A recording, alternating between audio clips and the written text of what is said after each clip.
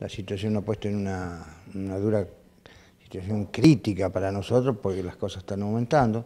Sabemos que esto va para más y bueno, pero nosotros vamos a esperar el tiempo que nos corresponda para ver cómo salimos de esto. Ya se cometió un error el año pasado y este año no queremos cometerlo. Porque la gente después se fija en eso.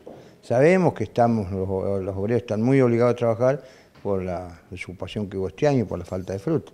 Pero además de eso sabemos muy bien que no se va a solucionar el problema hasta los primeros días de enero o mediados de enero. Para mí esa es la idea. Igualmente, ¿en qué momento se podría o ya se debe cosechar la Williams? Nosotros estamos viendo que ya se largó el sello para el día 10, se estaría cosechando el día 7 o 8 y bueno, ya este ¿Y al galpón cuándo llega la fruta? Y, si le van a dar frío y todo eso, va a empezar como el 13, el 14, porque tiene que dar un estacionamiento frío. Y antes de esa fecha sería importante obtener ya este, la oficialización de cuánto va a cobrar un obrero del empaque, ¿no es cierto? Claro, porque si no todos se ponen en una pausa de qué dice qué hacemos. Ese es el problema. Y bueno, la gente está un poquito también enardecida por lo que va pasando el tiempo, la inflación que nos va asumiendo.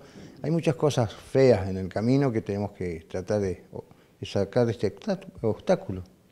¿Cuánto cobra hoy, hoy el sueldo básico de un empleado del empaque? Mira, el sueldo total de un embalador es 10.200 eh, pesos.